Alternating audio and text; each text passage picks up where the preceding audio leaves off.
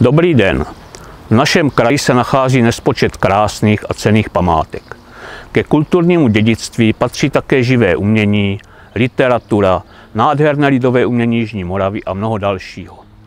Je naší povinností dědictví našich předků chránit pro budoucí generace.